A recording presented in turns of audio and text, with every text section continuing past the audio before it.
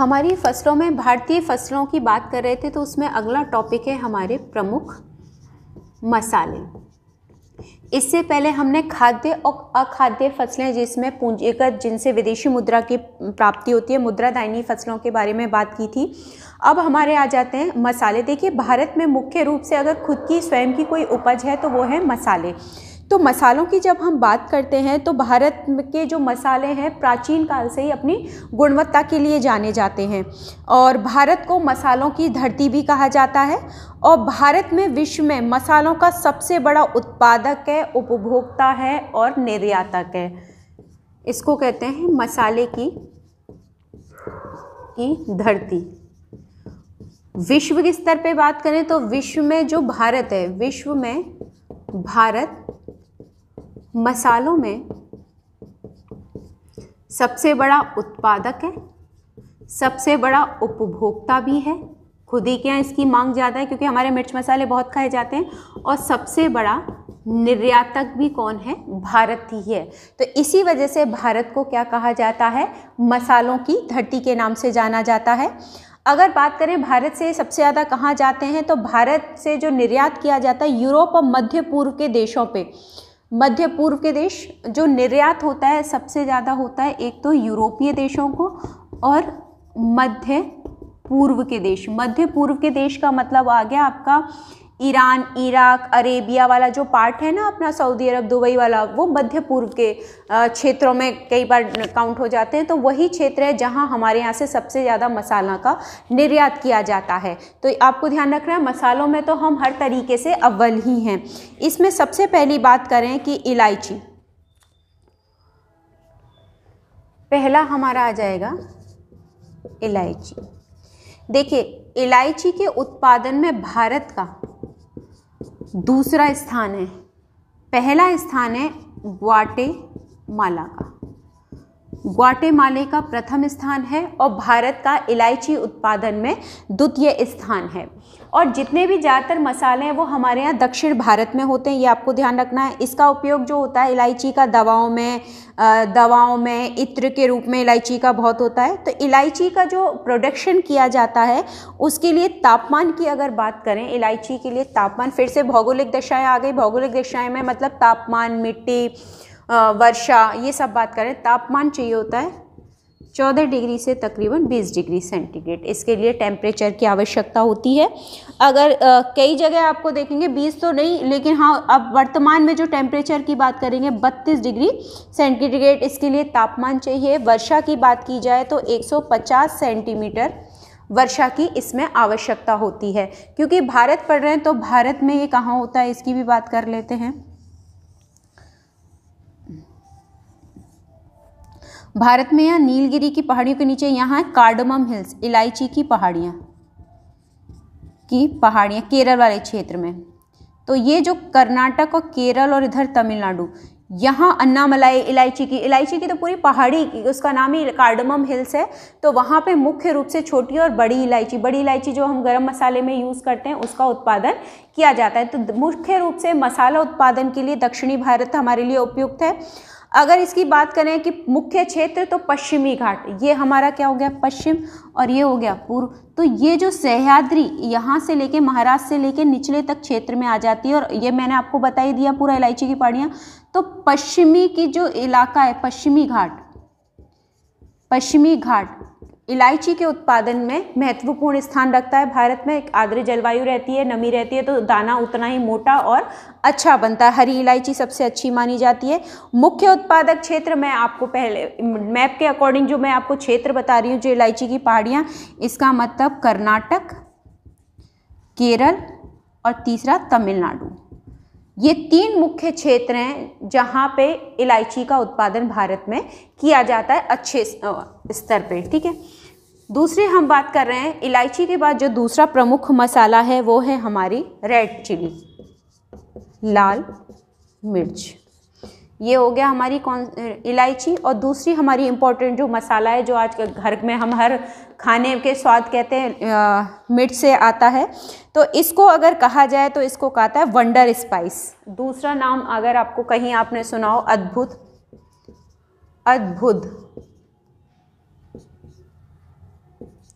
मसाला या wonder spice के नाम से भी इसे जाना जाता है। लाल मिर्च को एक ही बात है, वंडर स्पाइस अगर किसी के लिए यूज़ किया जा रहा है तो वो किसके लिए है? लाल मिर्च के लिए उपयोग किया जा रहा है। अगर लाल मिर्च को बात करें तो निर्यात के स्तर पे, वाणिज्य स्तर पे इसका बहुत महत्वपूर्ण है और महत्वपूर्ण मसालों में लाल मिर्च आप जानते हैं, इसके बिना काम ही नहीं होता। तो पूरे विश्व में बहुत बड़े स्तर पर लाल मिर्च का क्या किया जाता है? उपयोग किया जाता है। अगर पूरे बात करें पूरे विश्व की तो पूरे विश्व का जो उत्पादन है, लगभग भारत आधा क्या करता है? उपजाए पूरे विश्व का, पूरे विश्व का आधा कहाँ पैदावार होती है, उत्पादन होता है भारत में। पचास प्रतिशत अकेले भारत से लाल मिर्च का उत्पादन करके निर्यात किया जाता है। तो ये भी इंपॉर्टेंट है। अगर तापमान और वर्षा की बात करें, फिर से वही भौगोलिक दशाएँ तो तापमान चाहिए 10 डिग्री से 20 डिग्री सेंटीग्रेड। ये इसके लिए टेम्परेचर चाहिए। वर्षा की बात करें कि कितनी वर्षा चाहिए होती है? तो 60 सेंटीमीटर से 120 सेंटीमीटर मिर्च के लिए वर्षा की आवश्यकता होती है। तो टेम्परेचर भी बात हो गई, वर्षा हो गई, मिट्टी ये दोमट मिट्टी में हो जाती है। लेकिन इसके लिए जो बहुत अच्छी मिट्टी अगर बहुत अच्छी बात करेंगे मृदा तो लाल दोमट मिट्टी। लाल दोमट मिट्टी में। लोहांश की मात्रा बहुत अच्छी होती है, उस जगह इसकी उपज और पैदावार बहुत अच्छी प्राप्त होती है। क्षेत्र इसके बात करें तो आंध्र प्रदेश, कर्नाटक, पश्चिमी बंगाल, ये मुख्य हैं। जहाँ मुख्य प्रदेश होती है, एक तो ये वाला क्षेत्र आ गया। आंध्र प्रदेश में, कर्नाटक में, पश्चिमी बंगाल में, ठीक है, ये जो इसके मुख्य क्षेत्र हैं ये तो इसके मिर्च, अन्य क्षेत्रों में ऐसा नहीं है, राजस्थान में भी बहुत होती है मिर्च तो लेकिन जो प्रमुख क्षेत्र हैं वो अपने पश्चिमी बंगाल, उड़ीसा, पश्चिमी बंगाल के साथ साथ उड़ीसा उड़ीसा भी, पश्चिमी बंगाल, ये इसके, ऐसा नहीं है कि सिर्फ़ यहाँ ज़्यादा हो रही है इसलिए मेंशन किया है, इसके अलावा राजस्थान में भी होती है गुजरात में भी होती है एमपी में भी होती है यूपी के भी कुछ क्षेत्रों में होती है, इन क्षेत्रों में मिर्च और हिमाचल वाले प्रदेश में भी होती है। लेकिन मात्रा की बात करें तो उसके अकॉर्डिंग हमारी आंध्र प्रदेश, फिर पश्चिमी बंगाल, उड़ीसा और फिर कर्नाटक। रैंकिंग के अकॉर्डिंग बात करेंगे तो यहाँ लाल मिर्च का उत्पादन किया जाता है। अगले मसाले की बात करें तो जो मुख्य रूप से काम आने वाले मसाले हैं हम अभी उन्हीं की बात कर रहे हैं लौंग। देखिए लौंग पूजा में भी काम आती है मसालों में भी तो आपको पता ही है बीमारियों में औषधीय रूप से लौंग का बहुत महत्व है तो लौंग एक तरीके से बहुत इंपॉर्टेंट है। आ, मूल रूप से अगर बात करें तो ये इंडोनेशिया का उत्पादित मसाला है अगर मूल बात करें मूल तो ये है इंडोनेशिया का उत्पादित मसाला है। ठीक है? मूल भी इसका पता होना चाहिए कि लौंग का कहाँ से आया है। और आ, लेकिन वर्तमान में अगर बात करें कहाँ कहाँ हो रहा है तो ये जंजीबार है मलेशिया है मेडागास्कर है श्रीलंका है। देखिए वर्तमान में कहाँ कहाँ हो रहा है? Sri Lanka Bharat Malaysia Zanzibar island. यहाँ मुख्य रूप से वर्तमान में लौंग का उत्पादन किया जा रहा है, जिसमें भारत भी है ही है, जो बात मसाले भारत का पड़ रहे हैं तो उसमें भी है। अगर टेम्परेचर की बात करें तो तापमान जो इसके लौंग उत्पादन के लिए चाहिए 25 डिग्री से 35 डिग्री सेंटीग्रेड और वर्षा तकरीबन तकरीबन 150 के आसपास ही हम आई जा रहे हैं अधिकतर मसालों में। तो वर्षा 150 सेंटीमीटर की इसके लिए चाहिए होती है। अगर बात करें तो इसका, मैंने कहा था, औषधीय उपयोग बहुत ज़्यादा है। एंटीबायोटिक रूप में गुणों से युक्त होती है चिकित्सा में। प्रमुख राज, जितने भी गरम मसाले हैं लौंग हो, इलायची हो, काली मिर्च हो, और क्या बोलते हैं आपके, दालचीनी वो सब होती है हमारी दक्षिणी भारत में।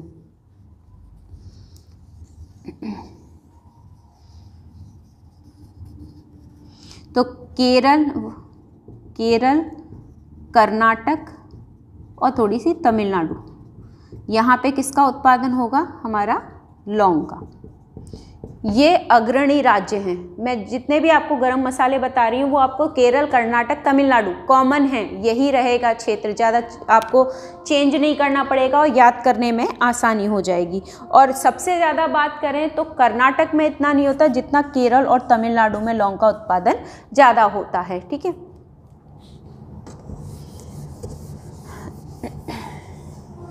लाल मिर्च हो गई, इलायची हो गई, लौंग हो गई। अगले मसाले के रूप में बात करें काली मिर्च। लाल मिर्च के बाद हम आ गई काली मिर्च। ठीक है? ये देखिए, आपको जितने भी आपने स्पेनिश फ़ूड सुने होंगे यूरोपियन फ़ूड सुनेंगे, उसमें ब्लैक पेपर काली मिर्च का सबसे ज़्यादा उपयोग होता है।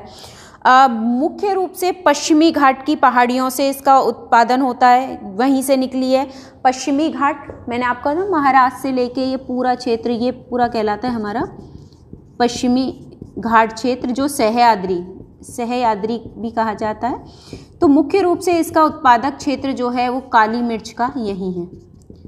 फिर से वो केरल, कर्नाटक, तमिलनाडु वाली स्थिति, फिर से मैंने कहा था, जितने भी गर्म मसालों की बात होगी तो हम दक्षिण भारत में केरल, कर्नाटक, तमिलनाडु के क्षेत्र में सीधे सीधे पहुँच जाएँगे।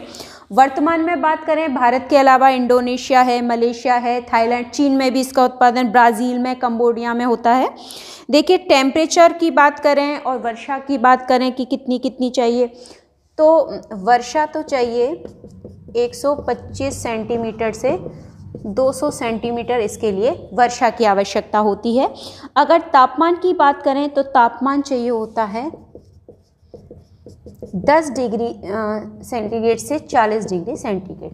पकने के लिए दाना काला देखा है, पक के भुन अच्छा सा हो जाता है, कुटुर कुटुर वाला तो वो किसके लिए टेम्परेचर 40 डिग्री के आसपास चाहिए होते हैं, जिससे उसमें पकावट अच्छी तरह आ जाए। एक्चुअली ये कच्चे रूप में तोड़ी जाती है, ऐसा नहीं है कि पकने पेड़ पे नहीं, कच्चे रूप में तोड़ ली जाती है और तोड़ के इसको फिर सुखाया जाता है। और जब सूख जाती है तो मसाले के रूप में इसका क्या किया जाता है? उपयोग किया जाता है। मुख्य रूप अगर उत्पादक क्षेत्र की, भारत में बात करें, काली मिर्च का प्रमुख उत्पादक क्षेत्र। उत्पादक क्षेत्र भारत में सर्वाधिक अगर कहीं होती है तो केरल में होती है। उसके अलावा फिर कर्नाटक और तमिलनाडु के क्षेत्र में, लेकिन प्रमुख उत्पादक क्षेत्र काली मिर्च का केरल है। ये आपको ध्यान रखना है। इसके अलावा कर्नाटक है, गोवा में भी होता है, अंडमान निकोबार में भी छोटे स्तर पर तो केरल, कर्नाटक, तमिलनाडु, इसके अलावा कुछ मात्रा में गोवा में, एंड अंडमान निकोबार में नए प्रणाली यूज़ करके अंडमान निकोबार में भी इसके उत्पादन को किया जा रहा है, लेकिन इतना ज़्यादा नहीं हो रहा जितना कि हम केरल से मुकाबला कर लें। तो यहाँ पे काली मिर्च का उत्पादन होता है, औषधीय गुण मैं आपको बताई चुकी हूँ।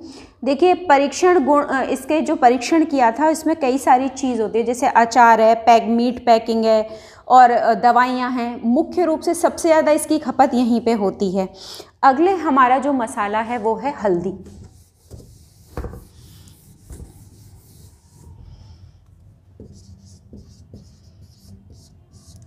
खाने में, दवाई के रूप में, इसके अलावा आपके सौंदर्य प्रसाधनों में, सबसे पूजा में, हल्दी का सबसे पहले प्रयोग होता है। हम जानते हैं हमारे पूजा पाठ के काम होते हैं तो हल्दी को विशेष रूप से रखा जाता है खाने में। तो जो हल्दी है मूल रूप से दक्षिण पूर्व एशिया का पौधा है। अगर मूल रूप पूछा जाए, कहाँ का पौधा है? दक्षिण पूर्व एशिया का पौधा है। पहली चीज़ तो दक्षिण पूर्व एशिया मतलब कौन सा आ गया हमारा? हिंद, चीन वाला पार्ट दक्षिण में तो भारत ही आ जाता है। पूर्व की बात करें तो हिंद, चीन वाले जो हिंद, एशिया वाला पार्ट है, वो पूरा आ जाता है। कैसी फ़सल है? अगर बात करें गर्म क्षेत्र की है तो फ़सल की बात उष्ण कटिबंधीय फ़सल है।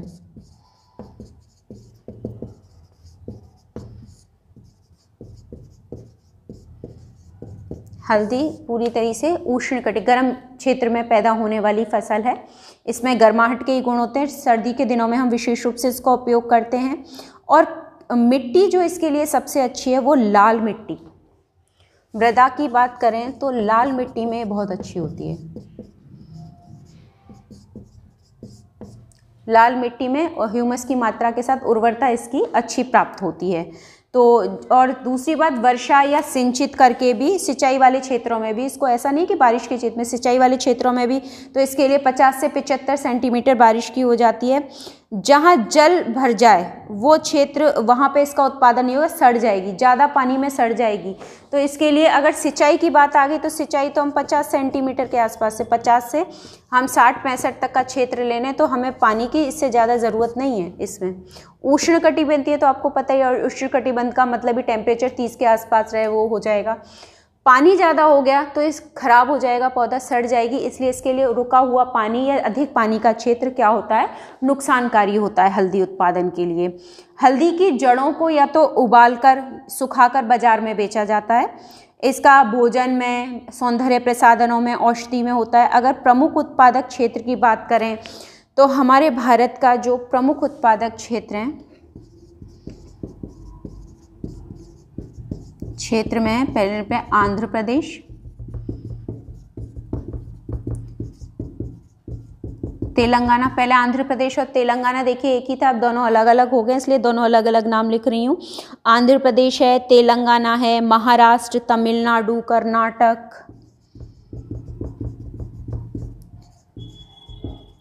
तमिलनाडु, कर्नाटक। इसी सीरियल टी में यहाँ पैदावार भी होती है। पहले नंबर पे आंध्र प्रदेश, फिर तेलंगाना, महाराष्ट्र इन क्षेत्रों में हल्दी का सर्वाधिक उत्पादन होता अन्य क्षेत्रों में भी होता है। और आजकल तो सब्ज़ी के रूप में बहुत विशेष रूप से इसे खाया जाता है। और जो हल्दी का अगर कहें औषधीय गुण जो आपकी बोन्स के लिए बहुत अच्छी होती है उस प्रकार की जो आपकी गीली हर, जो हल्दी होती है वो पहाड़ी क्षेत्रों में हिमाचल वाले क्षेत्र कांगड़ा घाटी क्षेत्र उन क्षेत्रों में विशेष रूप से अच्छी वाली हल्दी होती है। इसके अलावा जो अगला है हमारी दालचीनी। आजकल देखिए, कोरोना टाइम में कह रहे हैं दालचीनी का विशेष उपयोग करें। अपने इम्यूनिटी सिस्टम बढ़ाने के लिए भी दालचीनी का विशेष रूप से ज़ोर दिया जा रहा है। तो इस वजह से अगला टॉपिक है हमारा दाल चीनी। ठीक है? आपने देखा होगा, पिसी हुई भी मिलती है, साबित आती है, डंठल जैसी आपने लंबी गोल गोल देखी होगी। वो दालचीनी तो विशेष रूप से औषधीय गुणों से युक्त है। अगर इसकी उत्पत्ति कही जाए तो श्रीलंका की मध्य पहाड़ियों से। उत्पत्ति की बात करें उत्पत्ति श्रीलंका की मध्य पहाड़ियों से इसकी उत्पत्ति मानी गई है। ठीक है? तो उत्पत्ति भारत से ना होके कहाँ से है? श्रीलंका से है। भारत में बात करेंगे, नीलगिरी मालावार पहाड़ी क्षेत्र में सर्वाधिक होती है। भारत में क्षेत्र की बात से पहले वर्षा की बात कर लें। वर्षा 150 से 250 सेंटीमीटर वाले क्षेत्र में पानी मतलब आर्द्र क्षेत्र में इसका उत्पादन होगा। इसके अलावा आपकी अगर बात करें कि तापमान कितना चाहिए तो तापमान 20 डिग्री से तीस डिग्री सेंटीग्रेड इसके लिए तापमान चाहिए। आर्द्र, देखिए, बारिश अच्छी बता रही तो आर्द्रता अच्छी होगी, ऐसे क्षेत्रों में दालचीनी होती है। यह सिनामोमम वीरम नाम एक वृक्ष होता है, उसकी छाल होती है। सिनामोमम वीरम, ये वृक्ष का नाम है। इसकी छाल से बनती है। इसकी छाल से ही केस का कहा जाता है, उसे कहा जाता है दालचीनी, जो कि हम सबसे ज़्यादा उपयोग कर रहे हैं इन दिनों में। इसको सुखाकर, औषधि रूप में पीस कर सबसे ज़्यादा उपयोग में किया जाता है। तो क्षेत्र मुख्य रूप से इसकी नीलगिरी और मालावार की पहाड़ी। उत्पादक क्षेत्र अगर प्रमुख उत्पादक क्षेत्र नीलगिरी पर्वत और मालाबार क्षेत्र। अब जिन बच्चों को नीलगिरी पर्वत नहीं पड़ा, ये भारत का दक्षिणवर्ती हिस्सा है। यहाँ नीलगिरी की पहाड़ियाँ हैं। गिरी की पहाड़ियाँ। और यहाँ पे ही ये कहलाता है मालाबार तट। यही मालाबार का क्षेत्र पड़ता है। तो इस क्षेत्र में मुख्य रूप से क्या होता है? दालचीनी का उत्पादन होता है। अन्य क्षेत्रों में कम, आंध्र में भी किया जाता है, नल्ला मलाई की पहाड़ियों पे भी, महेंद्रगिरी की पहाड़ियाँ यहाँ पे होता है, लेकिन उतनी मात्रा में नहीं होता है। जितना कि सर्वाधिक मात्रा की बात करें, जो कि दक्षिण भारत में होती है। तो मुख्य मुख्य मसालों के रूप में जो हमारी हल्दी है, लाल मिर्च है, काली मिर्च है, दालचीनी है, इनकी हमने गणना की है। भारत में फ़सलों को लेके या खाद्य फ़सल अखाद्य फ़सलें या मसाले हैं इसके अलावा कुछ क्रांतियाँ भी हुई हैं जिनके हमें नाम पता होने चाहिए कि नीली क्रांति किसे कहते हैं, पीली क्रांति किसी कहते हैं, या इसमें अगला टॉपिक जो इम्पोर्टेंट है वो है आपका हरित क्रांति। तो अभी सिर्फ़ मसालों की बात की है, अब हम क्रांतियों के बारे में चर्चा करें।